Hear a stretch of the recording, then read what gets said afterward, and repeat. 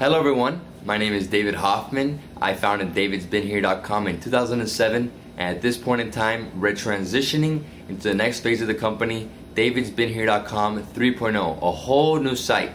And today I want to speak to you a little bit about one of the new sections called Ask David. Now this section was designed to help out anybody that has any travel question. I am personally going to respond to every single question if it has a short answer, I'm gonna send a quick email. But if it has a longer answer, I'm gonna make a personal message just like this one and put it on, on YouTube and put it on my site.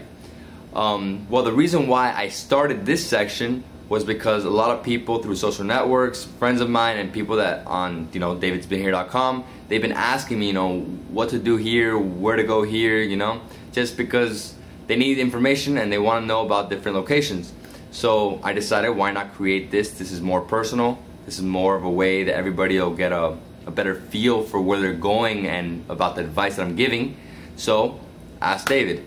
If you have any questions, ask me at advice at David's Been Here or through Twitter, Facebook, or YouTube.